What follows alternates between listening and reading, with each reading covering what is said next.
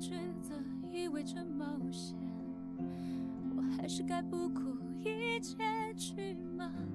有太多理所当然的字典，谁大于谁才值得成全？谁有资格，谁被忽略？可我明明听见了声响。我总会怀疑，真实不止于人所见。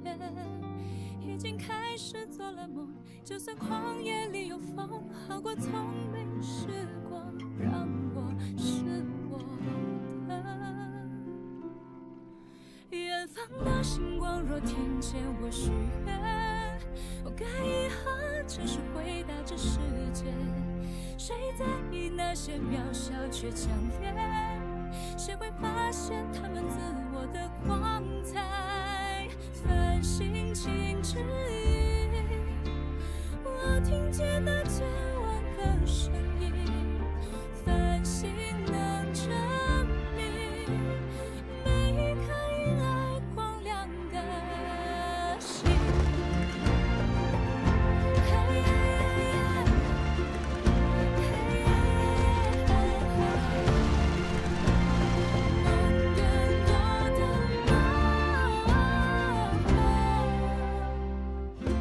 许害怕，却还是伸出了手。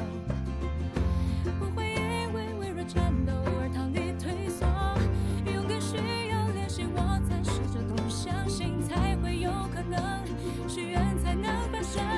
那黑夜只是黑夜，不过是默写翻来覆去的那一页，安全到不了终点，很明显，方向里指标几万千，像河流奔赴校园，突然孵化出，这也是生命的